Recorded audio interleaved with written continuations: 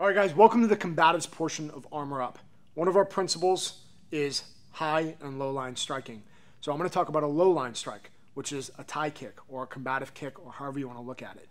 The way I throw my low line leg kick is going to be a little bit different in combatives as opposed to the sparring mentality where I'm trying to kick and then just come back. Okay, that could be useful for a combative scenario where you you see a blade or you see something in your environment where you need some distance.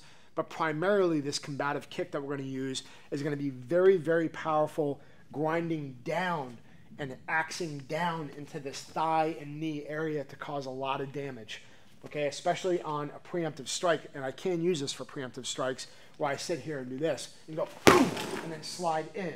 And that's the biggest difference with the combatives portion is that I'm actually looking to to push forward and get in that guy's space as opposed to give him that space back where I'm going kick and then see what he has. This isn't a one for one. This is me, me, me, me, me in combatives when your life is on the line.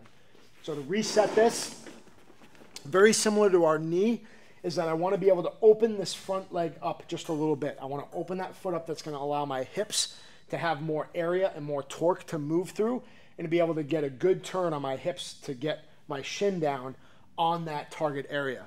So as I go to step, the preemptive part of this is that I'll step at about a 45 degree angle. Okay, I can step outward, I can stay in the same place, and then I'm gonna torque my hips. Just like you're throwing a baseball bat, I wanna think about getting my hip turned over in the direction of the, the strike. You think about a line or a spike driving through where I wanna target. So if I wanna target right here on the thigh, take a spear or a spike, stick it through the leg, and that's the direction my strike needs to go. So if that spike is pointing towards the wall, that's where I want my shin to be pointing when I'm done with the strike. So if you visualize that spike going through, I'm going to step over and then I'm going to throw the strike in that direction. And if you can see, my foot, knee, hip, and shoulder are all aligned to where that spike should be pointing. Okay, that's how I want to throw the strike. That's how I'm to get maximum power for that low line strike. I can do it in shadow boxing just on my own. I don't need something to kick. I can sit here and visualize that but just know as I step and throw the strike, I don't have anything to hit, right? So I have to be able to swing through. My power is going to go through here to be able to turn back around. Just understand that, okay? I can go strike and then step in.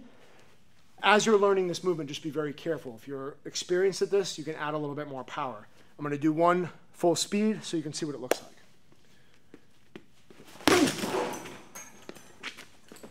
One more time.